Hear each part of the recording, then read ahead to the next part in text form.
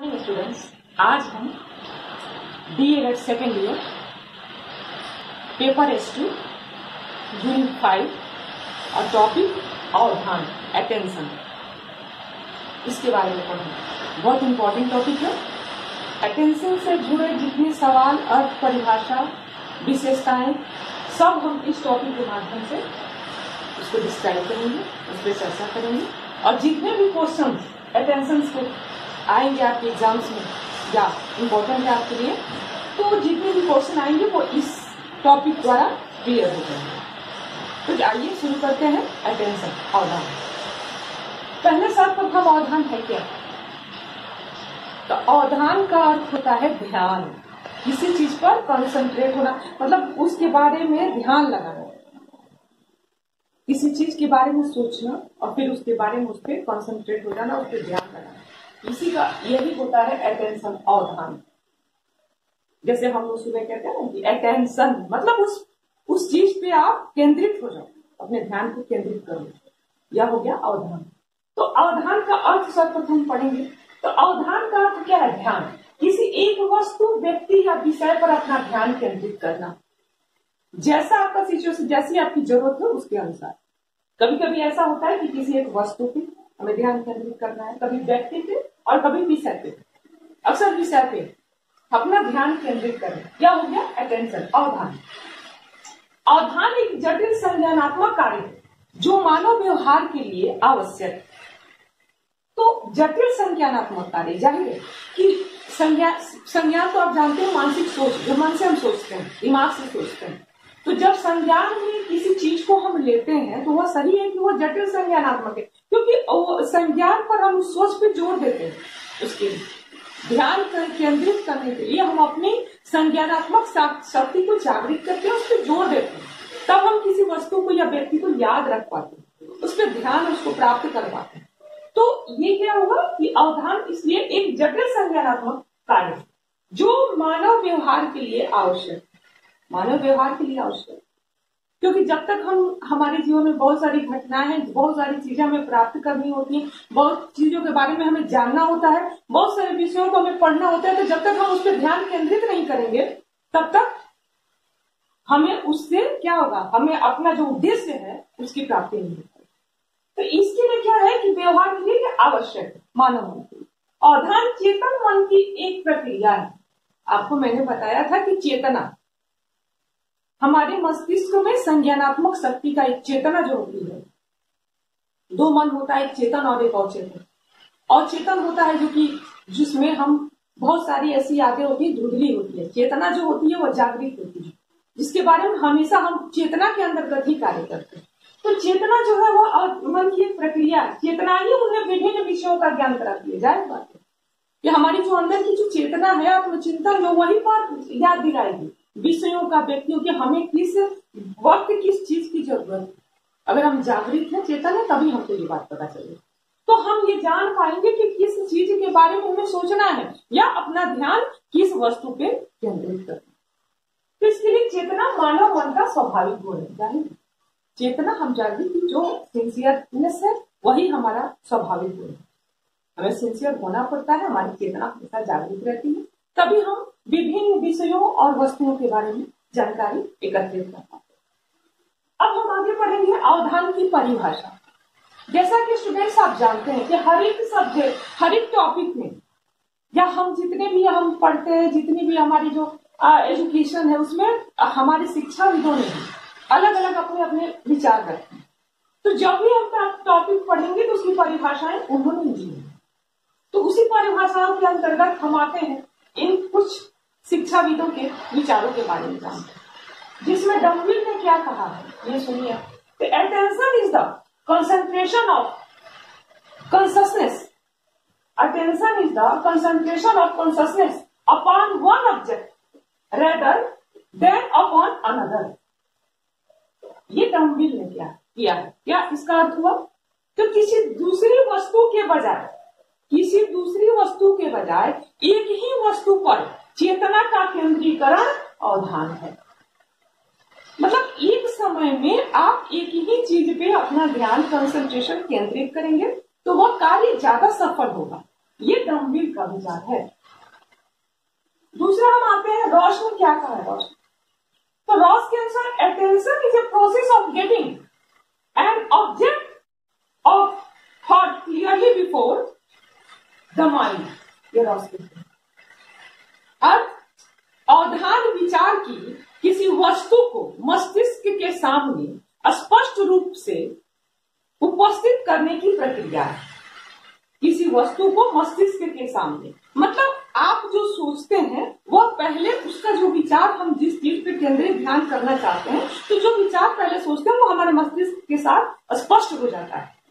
तो यह रास का विचार अब हम आते हैं वेलेंटाइन वो क्या बोलते हैं? The attention is not a faculty of the mind it rather describe an attitude or activity of the mind तो वेलेंटाइन क्या कहते हैं? कि अवधान मस्तिष्क की शक्ति ना होकर संपूर्ण रूप से मस्तिष्क की क्रिया या अभिवृद्धि। वे कहते हैं कि अवधान सोच जो है, वो हमारी मानसिक शक्ति नहीं है। वह उसमें चलने वाली प्रक्रिया है। है ना? क्योंकि ज़ाहिर बात है कि जो भी हम सोचेंगे या समझेंगे जिस चीज़ के बारे में जानना तरह तरह की बातों के बारे में हमारा ध्यान केंद्रित होगा। तो वह प्रक्रिया निरंतर चलेगी।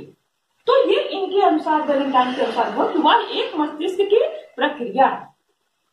अब कहते हैं एलिमन attention from whatever angle we consider it is in the last analysis a motivation process ये कहते हैं एनएलमन मतलब एनएलमन कहते हैं कि अवधान के किसी भी दृष्टिकोण से देखा जाए, अवधान को किसी भी दृष्टिकोण से देखा जाए तो अंतिम विश्लेषण अवधान को ही प्रेरणात्मक क्रिया तो मतलब हम जब ध्यान लगाएँगे तो उसकी अंतिम प्रक्रिया जो यही होगी तो उसमें से कंक्लूजन निकलेगा, जो उसमें से कुछ ना कुछ हमारा जो जो हम सोचते हैं या जो हमारा जो उद्देश्य है, उसकी प्राप्ति होगी। ये हो गया एनिमल अब हम अवधान की विशेषताओं के बारे में जानेंगे। अभी हमने अर्थ और परिभाषा पढ़ा। अब हम अवधान की विशेषताएँ पढ़ेंगे। अवधान की विशेषताएँ। पहला पॉइंट है मानसिक सक्रियता। तो किसी भी वस्तु अथवा विचार आदि पर अवधान होने के लिए मानसिक सक्रियता आवश्यक है।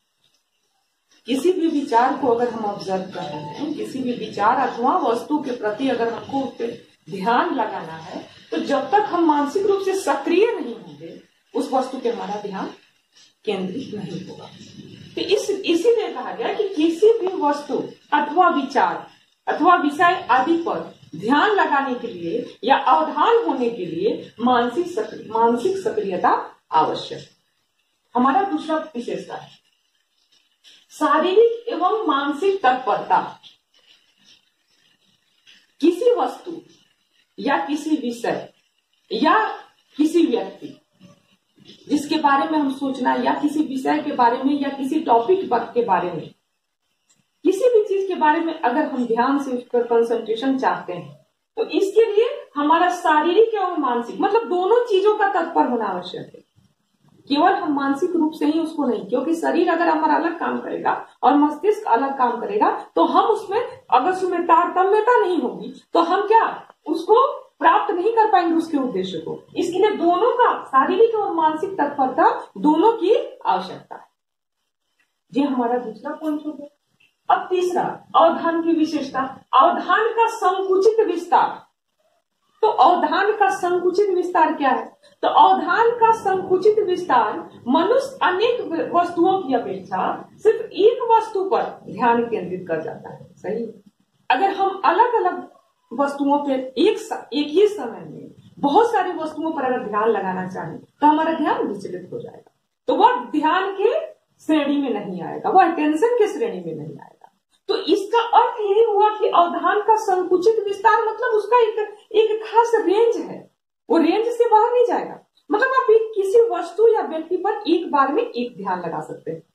इसीलिए इसको कहा गया है कि अवधान का संकुचित विस्तार। अब हम आते हैं अवधान की चंचलता। तो अवधान की चंचलता क्या है? तो अवधान बहुत चंचल होता है। क्या होता है कि सबसे पहले जो हम सोचते हैं कि ध्यान लगाना एक तो मुश्किल काम है। किसी चीज़ पे कंसंट्रेट करना, केंद्रित करना बहुत आसान काम नहीं है। तो चंचलता क्या होती है कि हम किसी वस्तु के बारे में सोचते हैं कि अच्छा इस पर ध्यान लगा दे, फिर हमारा मन जो है वो भटकने लगता है। वो मानसिक अलग अलग चीज़ों पे हमारा ध्यान जाने लगता है। तो हम बहुत उसको कंसंट्रेट अपने सोच से उसको फिर क्या करते हैं? उसको एक जगह पर केंद्रित करते हैं, जिसमें हमको परिश्रम करना पड़ता है। तो इसमें चंचलता का अर्थ यही है कि हमारा ध्यान अलग अलग वस्तुओं पे चला जाता है। फिर हम अपनी सोची हुई वस्तु पर जो चीज़ों को इकट्ठा करके जब एक जगह ध्यान लगाते हैं तो क्या होता है? वह जो है, वह उस पर कंसंट्रेट उसी पर केंद्रित होती है। तो ये आता है अवधान की चंचलता में। अब हम आते हैं चयनात्मक प्रक्रिया। तो अवधान जो है या ध्यान जो है वह एक चयनात्मक प्रक्रिया है। व्यक्ति अपनी रुचि के अनुसार अवधान केंद्रित करता है। ज़ाहिर बात है जो हम सोचते हैं जो, जो जिसकी ज़रूरत है हमको उसी का उसी पर ध्यान केंद्रित करेंगे। ऐसा नहीं है कि अलग अलग जो जिसकी ज़रूरत नहीं है बिना मतलब के बातों पे हम अपना ध्यान केंद्रित करें। नहीं। जो हमारी रुचि है जो हमें आवश्यक लगता है हम उस पर अपना ध्यान केंद्रित करते हैं। तो अचयन इसीलिए चयन। मतलब उसको चयन करते हैं, उसका पहले बार उसको हम लोग चूज़ करते हैं कि हम इसको इसी चीज़ पे हमारा ध्यान केंद्रित करना है। तो जब हम उसका, इसीलिए वह एक चयनात्मक प्रक्रिया है। व्यक्ति अपनी रुचि के अनुसार अवधान केंद्रित करता है। इससे उसका कोई प्रयोजन या उद्देश्य सिद्ध होता है। पहले हम उद्देश्य निर्धारित करते हैं। हमको इस एग्ज़ाम में पास होना है। हमको ये, क्या कहते हैं कंपटीशन क्वालिफाई करना है। हमको इस वस्तु की प्राप्ति चाहिए। तो ये उद्देश्य निर्धारित करने के बाद फिर हम उसका चयन करते हैं, तब फिर ध्यान केंद्रित करते हैं उस चीज़ पे तो ये आ जाता है आपका चयनात्मक प्रक्रिया के अंतर्गत। अब हम आते हैं अवधान की अस्थिरता। अवधान प्राय अस्थिर होता है। यह वातावरण के अन्य कारक मतलब जैसे कि जिस चीज़ पे है, कभी जैसे हम ध्यान लगाने, आज पढ़ने बैठे बहुत अच्छे से सब मूड बना के क्या पढ़ते हैं, आज इस चीज़ को टॉपिक को खत्म कर देना। लेकिन होता क्या है कि उसी में क्या होता है कि कुछ ऐसा घटना हो जाता है घर में, फिर हमारा ध्यान उस पर चला जाता है। या टीवी चलने लगता है, या कहीं गाना चलने लगता है, या कुछ ऐसा घटित हो जाता है कि हमारा ध्यान उसमें से भटकने लगता है। तो इस अंतर्गत क्या होता है कि वह जो है, वो अस्थिर हो जाता है। ध्यान जो है, वो अस्थिर हो जाता है। तो ये इसके अंतर्गत आता है अवधान की अस्थिरता के अंतर्गत अब हम आते हैं अवधान प्रयोजन युक्त। तो ये जो अभी आपने बनाया तो ये इस टॉपिक के अंतर्गत यही आता है कि पहले हम उद्देश्य आधार निर्धारित करता है, फिर वो जो होता है, क्योंकि वो आधार उद्देश्य इसीलिए प्रयोजन युक्त किसी बिना प्रयोजन के हम कोई ध्यान नहीं लगाते हैं। इसलिए ध्यान जो है, वह प्रयोजन युक्त होता है। अब आते हैं चेतना आधारित अवधान चेतना। तो चेतना अगर हमारे अंदर हमने जो शुरू में आपको बताया, उसकी परिभाषाओं में और अर्थ में, कि बिना चेतना के, मानसिक चेतना के अवधान संभव ही नहीं। अगर हमारी मानसिक चेतना नहीं है हमने तो अवधान नहीं हो पाएगा, ध्यान किसी चीज़ में हम नहीं लगा पाएँगे। तो इसके लिए क्या है कि मनुष्य की चेतना पर ही अवधान आधारित है। व्यक्ति जिस भी वस्तु पर और ध्यान केंद्रित करना चाहता है, वह उसकी चेतना में सुरक्षित हो जाती है। जब हम ध्यान से पढ़ाते हैं या पढ़ते हैं, या कोई भी किसी टॉपिक पर या वस्तु पर या उसके बारे में अगर जानना चाहते हैं या ध्यान केंद्रित करना चाहते हैं तो क्या होता है? हमारी चेतना में स्थिर हो जाती है। फिर जब हमको उसकी ज़रूरत होगी तो वह हमें उसकी, हम यूज़ उसका उसका हम इस्तेमाल कर सकते हैं। तो ये क्या होता है कि वह चेतना पर आधारित होती है सुरक्षित हो जाती है। और जो चीज़ हम ध्यान नहीं जिस पे केंद्रित करना चाहते हैं वो हमारे चेतन में चली जाती है। इसलिए अवधान जो है वह चेतना पर आधारित होता है। अब आता है इंद्रियों का समायोजन। तो इन अब ये हम सीखेंगे। तो अब आते हैं इंद्रियों का समायोजन। तो इंद्रियों का समायोजन क्या है? तो अवधान केंद्रित करने में इंद्रिया मुद्रा मांसपेशियाँ आदि वातावरण के प्रति समायोजन कर लेती है। अतः अवधान में समायोजन अवस्था